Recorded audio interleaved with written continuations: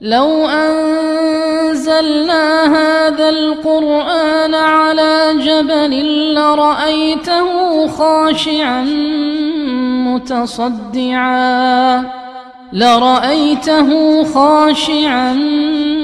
متصدعا من خشية الله. الحمد لله الذي جعل الإسلام نورا وهدى للعالمين. وأرسل محمدا صلى الله عليه وآله وسلم مبشرا ونذيرا وصل على محمد وعلى آله وأصحابه أجمعين محترم مسلمان قيرنداشlarimiz bo'libmi go'zal yoshlarimiz hozirgi zamondagi har turlik ma'naviy va oshkora izitqular va fitnalardan saqlanishninki yo'llarining yana birisi alloh subhanahu va taolo bizga xuddi ruhiy tarafdan har turlik fitnalardan saqlanishimiz uchun allohga chin qalbimizdan bog'lanishni sirotil mustaqim bo'lgan ravrus islom ko'rsatmalarida mustahkam turishni belgilagandek bizningki moddiy jihatda to'g'ri yo'lda fitnalarning keyni kirib ketmay moddiy manfaatdinmi alloh subhanahu va taolo bizni ko'rsatgan yo'l bo'yicha foydalanib allohni rozi qilish yo'liga kira olishimiz uchun moddiy jihatdan foydalanadigan Allah buyurgan, ruhsat kılıngan işlerini kılış arkalık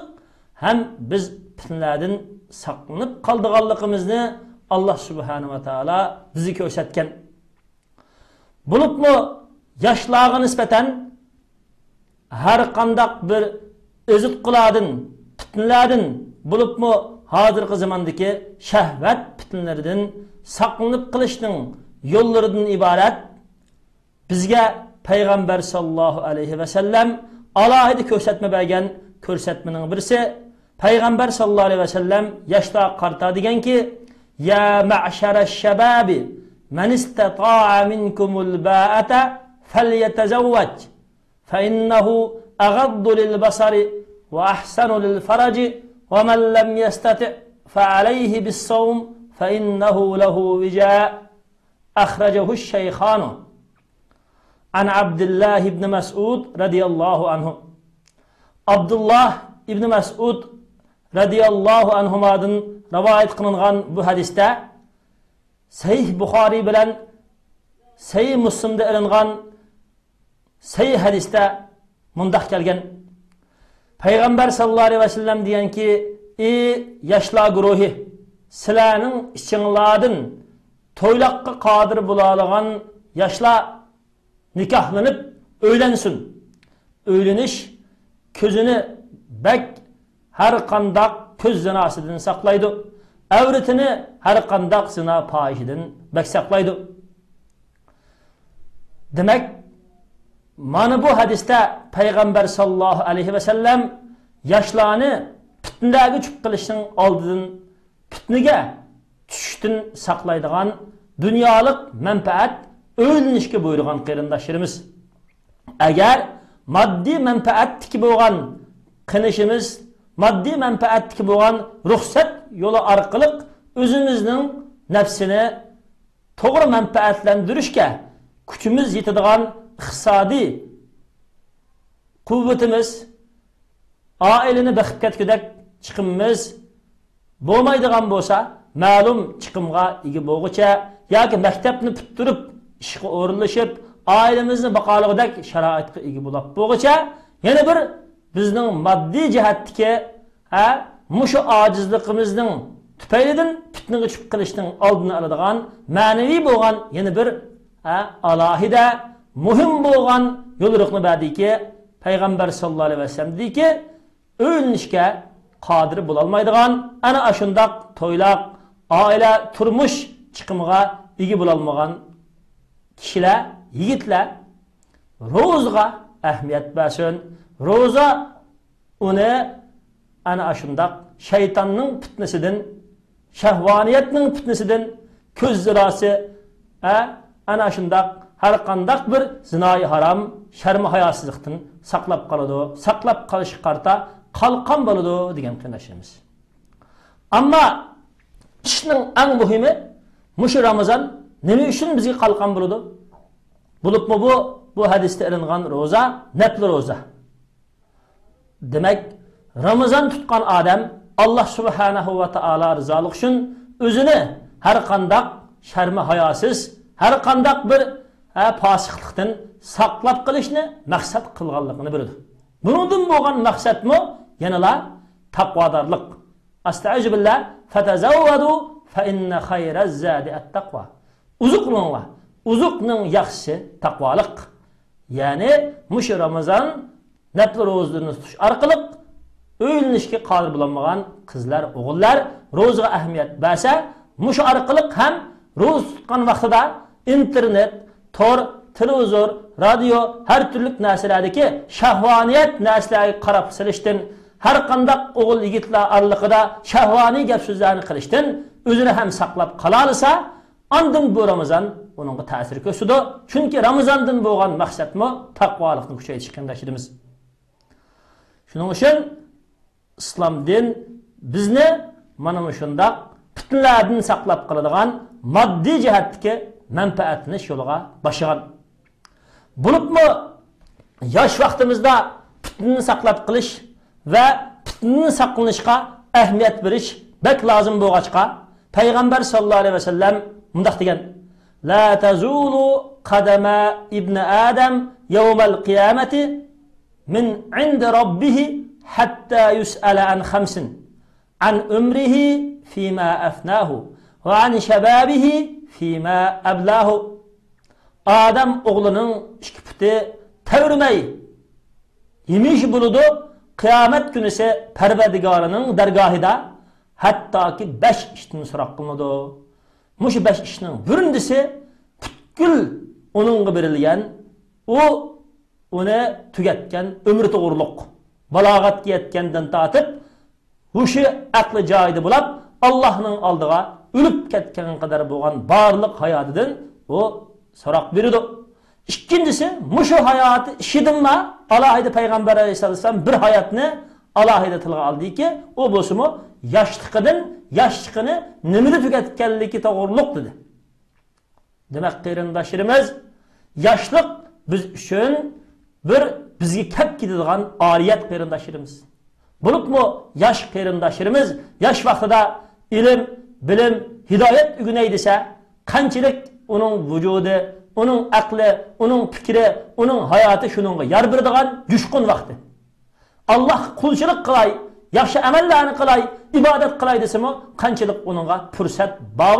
darhol qilolaydigan darhol o'zi minolaydigan vaqt. Masalan bir odam yosh vaqtida shirkat quray desa yoki bira bog'ni inshoat qilay desa yoki har qandaq bir jamiyat tashkilot va bira maydonni maydonga keltiray desa yosh vaqtida o'zining qobiliyatini o'zining allohga bo'lgan sadoqatmanligini o'zining musulmon ummatiga bo'lgan samimiyatini o'zining mazlum xalqlarga bo'lgan haqiqiy sadoqatmanligini namoyon qilib chin tursa u yashinib qatbog'icha nurg'un yaxshi amallarni qiyomat kuni ham allohning oldida savob oladigan darajada ham bu dunyoda kelgusi avlodlargacha iz qoldiradigan darajada yaxshilikni qoldira oladi xuddi bog'ban yosh vaqtida bog' solsa qiyrigan vaqtida o'zidan oilasidan ishib butkul jamiyatiga o'zining avlodiga jamiyatga meros qoldira olgandek shirkatlari o'ziga oilasi jamiyatiga hatto millati xalqiga foyda yetkazadigan iqtisodiy kurashlarni qiladigan bir shirkat bo'lgandek siyosiy harakatlari tashkilotlari kelgusi maydonda dushmanga qarshi xalqni qutqiza oladigan bir tashkili qurilmaga aylana olgandek shundoq foydalarni Amma yaş vaxtını hər türlü əyşi işrət, günah məsiyyət, biqatirətlik, horulluq, azğulluqda ötküzər. Həm də qeyrıqan vaxtımda həssi qataydısə, bulubmu yaş vaxtıda özü də kəlgüsü yaxşı iş qılalıqdək ilmi iqtidar, ruhi məniyyət, sab, İstanbul oqudun kəb çıxan hidayət, səmmiyyət, yaxşı əməlgi özgə adətdən işdən ibarət buğan müqim, qurulma, müqim, ə, yaxşılıq obrazını özdə yaratmağan bolsa, yashangan vaqtida uning yosh vaqtidagi qilgan har xil xuylari uning vujudiga singib kirib olganlik tufaylidan bir andila har qandaq bir yaxshilikni maydonga keltirishda haqiqiy eng yuqori pallada maydonga keltirishga qurbit yetmaydi. Bo'libmi yosh vaqtlaridan tortib qilib kelayotgan nurg'un yaxshilikdan iborat bo'lgan kelgusi avlodlargacha iz qoldira oladigan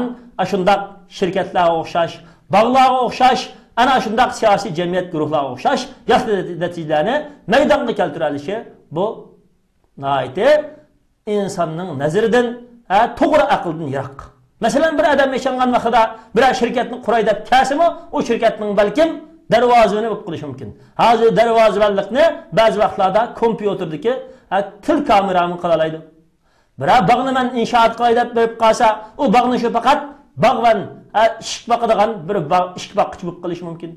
Biror siyosiy guruhninki cheyni qilib turadigan bir odam bo'lib qolishi mumkin. Demak har qandaq bir o'rinda kutilgan bir foydali bir insonga aylanishi foydali bir yaxshi natija qoldiradigan iqtidorli bir kishiga aylanishi tashkab qilnashimiz demak biz o'zimizning hayoti o'zimiz va o'zimizniki kelgusi uchun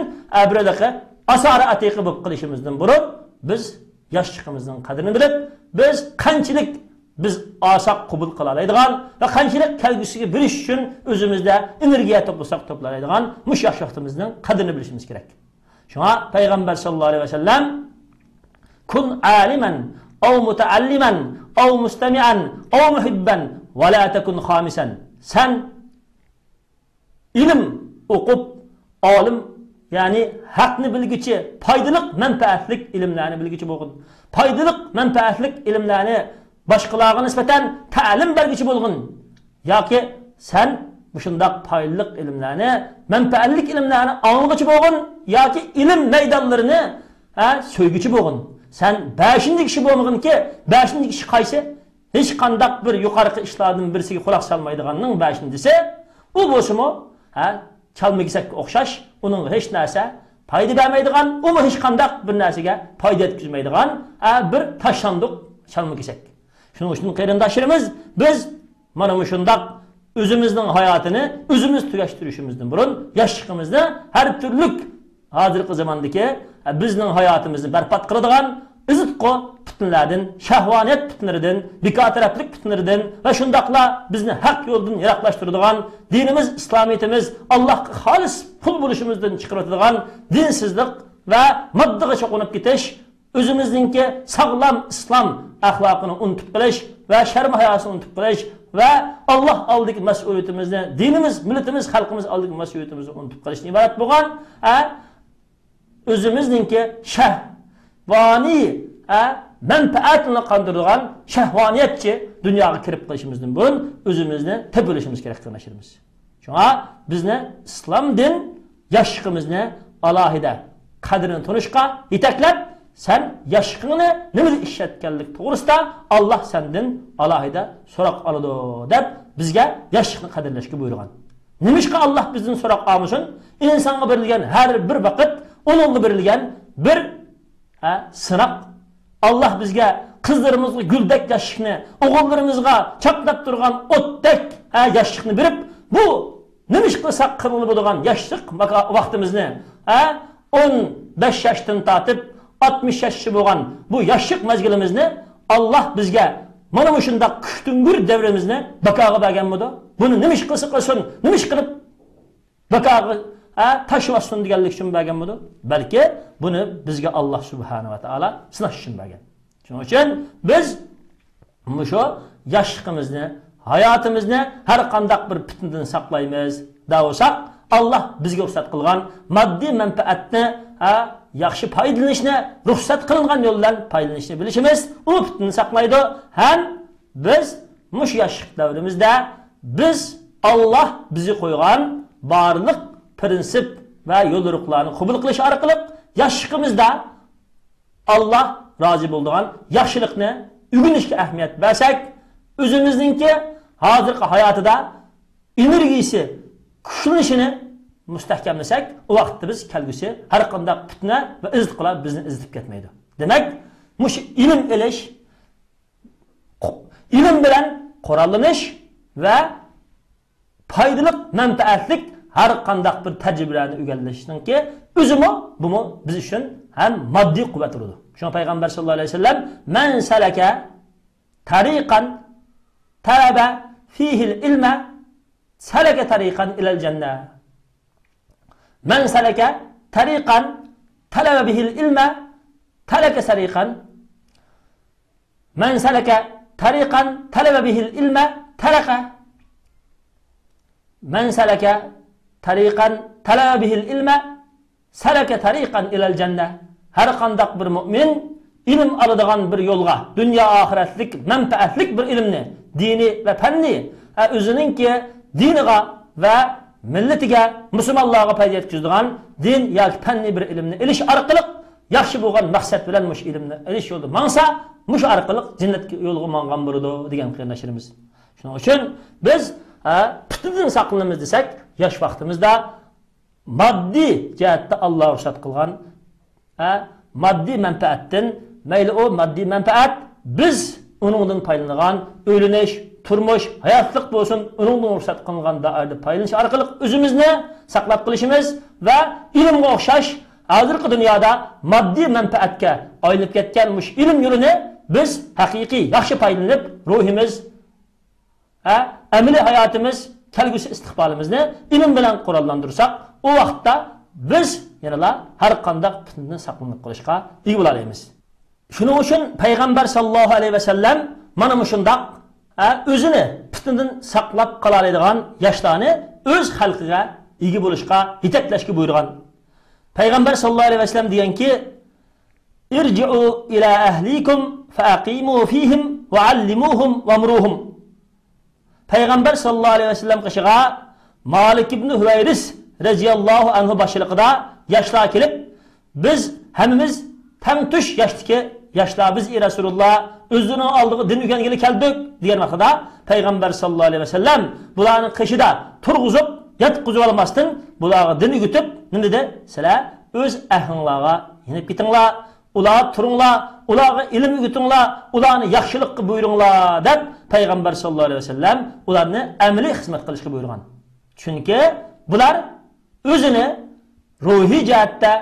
va ilmdan iborat bo'lgan amaliy hozirgi zamonninki va shu vaqtninki amaliy moddiy boyligi bo'lgan va ma'niy boyligi bo'lgan islom din va amaliy o'zining hayotida dinga amal qilish bilimlarini ular o'rgatgan. Ular o'rgangan. Shuning uchun mush o'rgangan mush yoshlarni va mush yosh vaqti shundoq o'ziga energiya kuch quvvat to'plab uni atrofga sarf qilish vaqti bo'lg'achqa ularni o'z xalqini uyg'otib islom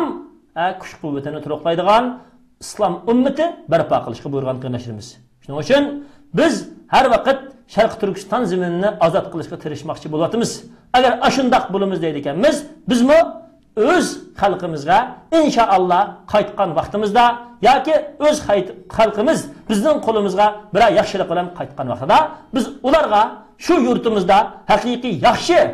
ulgulik yetakchi moddiy va ruhiy jihatdan ularni to'g'ri boshlaydigan holi islomning sof bulg'iga va haqiqiy din va millat davlat jihatda o'z oldimizga bo'lgan qur'on hadis rahbarligidagi erkinligimizga yetaklaydigan yaxshi bo'lgan avlodlar yaxshi ilg'or naslardan bo'lishga tirishchanlik qilsak ana shu vaqtda biz kelgusi avlodimizga foyda yetkazalaymiz hammamizni alloh subhanava taolo bizga alloh subhanava taolo bergan hayotlikdan yaxshi foydalangan nasib qilsin. Chunki alloh subhanava taolo qur'oni karimda mundoq degan. Astag'firullah.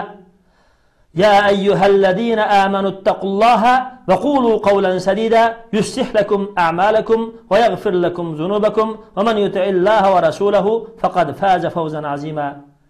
ey iymon aytgan mo'minlar alloh subhanava taolodan haqiqiy qo'rqishlaringizni qo'rqinglar va to'g'ri gapni danglar